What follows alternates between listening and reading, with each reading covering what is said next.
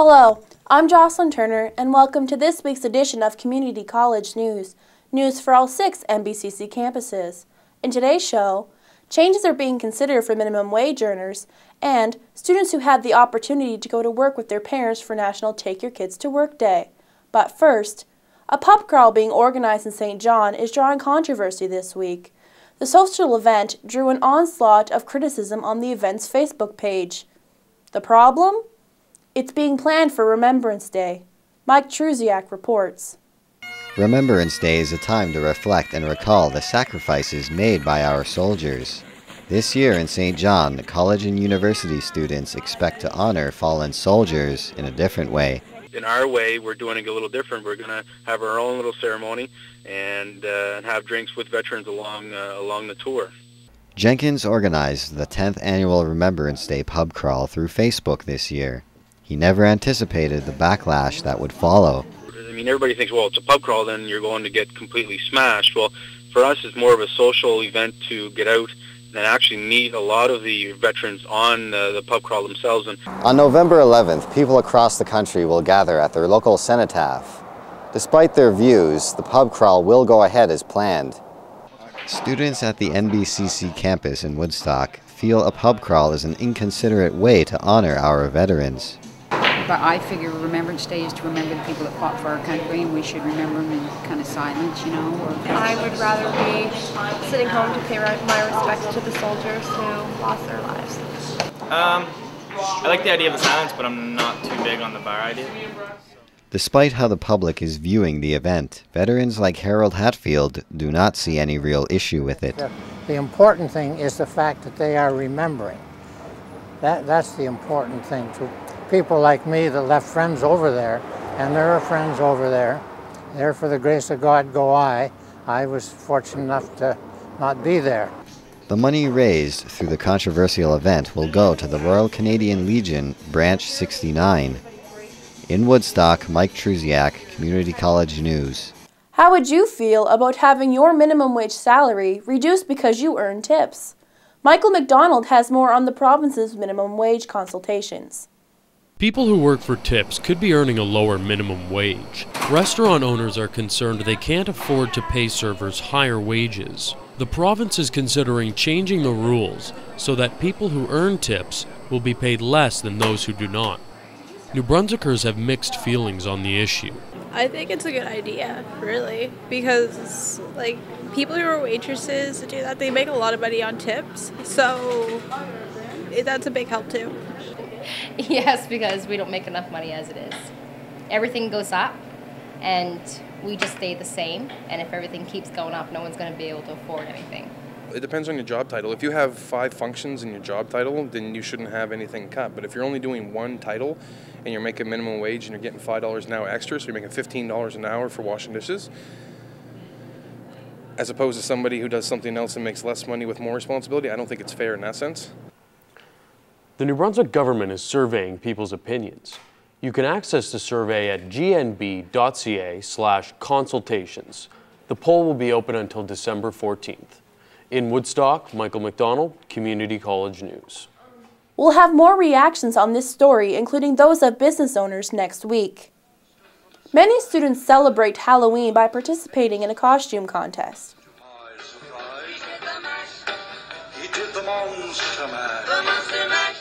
In Miramichi, IT system manager James Blanchard created this video of their Halloween celebrations, which you can see in its entirety on the NBCC Facebook page.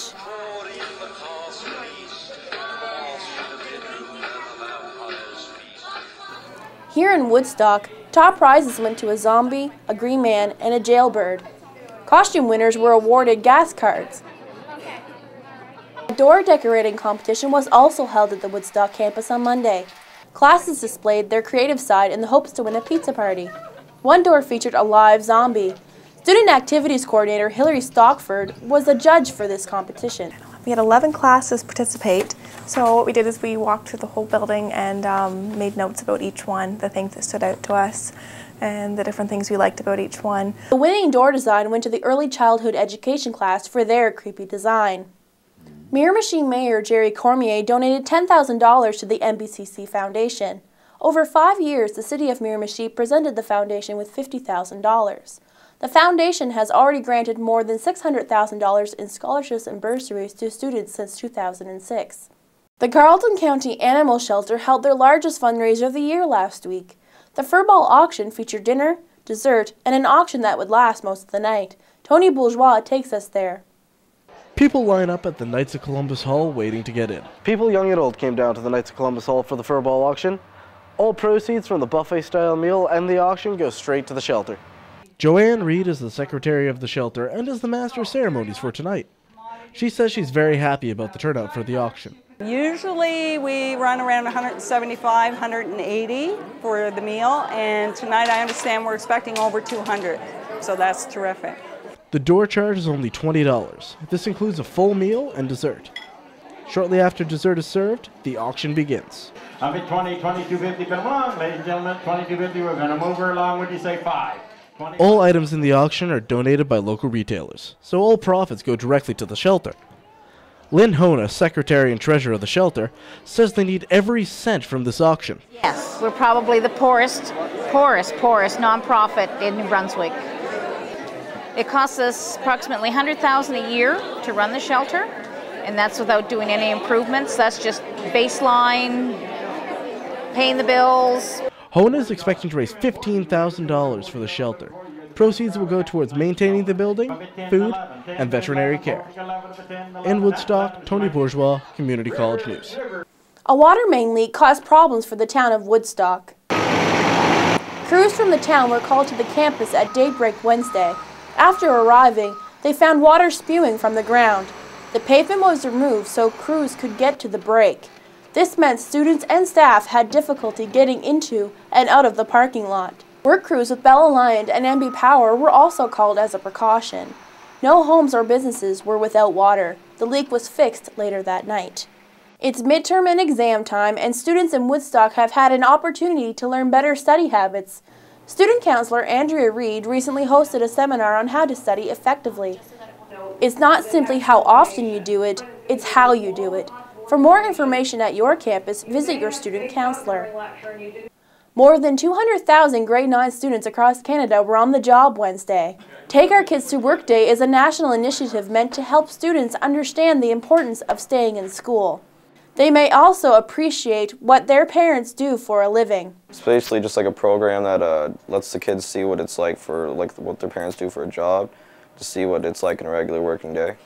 NBCC instructor Blaine Tompkins brought his son Ryan to class. He says the program also shows kids there is more to life than what they see in high school. I, I think it's good that the that the kids are able to see what it's really like. Um, I think that sometimes they get into a, an idea that their high school um, is kind of what it's like for them when they go into the workforce, and it's uh, not necessarily like that. Take Our Kids to Work Day began in 1994 in Toronto and now includes all provinces and territories. Sometimes, staying calm when in stressful situations is a lot more difficult than it seems. In this editorial, Ethan W. Hazlitt lays out a new perspective. Are you having trouble managing your workload?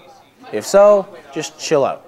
I know everybody has 101 things to do right now in the moment. But panicking isn't going to help the situation. I always see people running around, not knowing what to do, and then they get in a really bad mood. And that puts everyone else in a bad mood too. You just need to calm down and ask yourselves a few questions.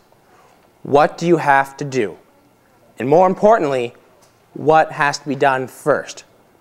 Then just wait a second, chill, and then do that first step. And don't worry about the other steps, because if you think about them too much, it's just going to hinder you and slow you down. And after that, take time, go get lunch. You deserve it, you need it, and you can work better on a full stomach. So remember, just chill. Just chill out. But don't forget you still have to do that work.